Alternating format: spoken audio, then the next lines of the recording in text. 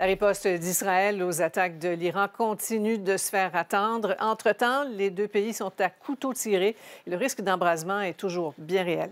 Sylvain Drapeau. L'armée israélienne a tenu à montrer à un groupe de journalistes un des missiles iraniens interceptés tombés dans la mer Morte. Nous ne pouvons pas rester les bras croisés face à une telle agression, dit l'armée. L'Iran n'en sortira pas indemne.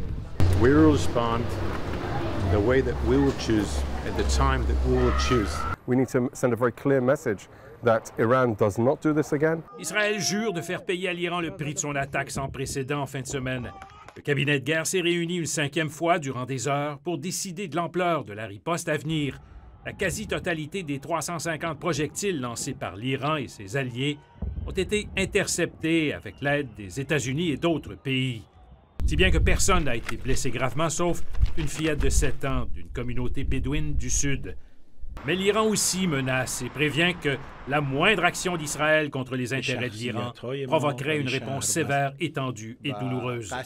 Pour le président turc Recep Tayyip Erdogan, il ne fait aucun doute que le premier ministre Benjamin Netanyahou et son gouvernement sont responsables de l'escalade actuelle.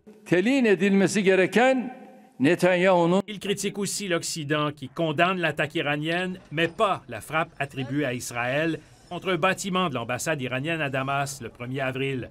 Les appels internationaux à la retenue se sont multipliés ces derniers jours, et alors qu'on craint l'embrasement au Moyen-Orient, l'offensive de l'armée israélienne dans la bande de Gaza, assiégée et menacée de famine, ne montre aucun signe de répit.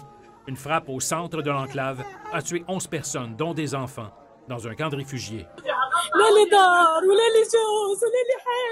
Mon frère a été blessé, son cousin aussi. J'ai perdu mon fils et mon mari. Je n'ai plus de maison, je n'ai plus rien, dit Wafaisa Al-Nouri. Pour l'heure, l'offensive sur Rafah semble suspendue, mais l'entrée de l'aide humanitaire reste un enjeu en raison des restrictions toujours imposées par Israël. Sylvain Drapeau, TVA Nouvelle.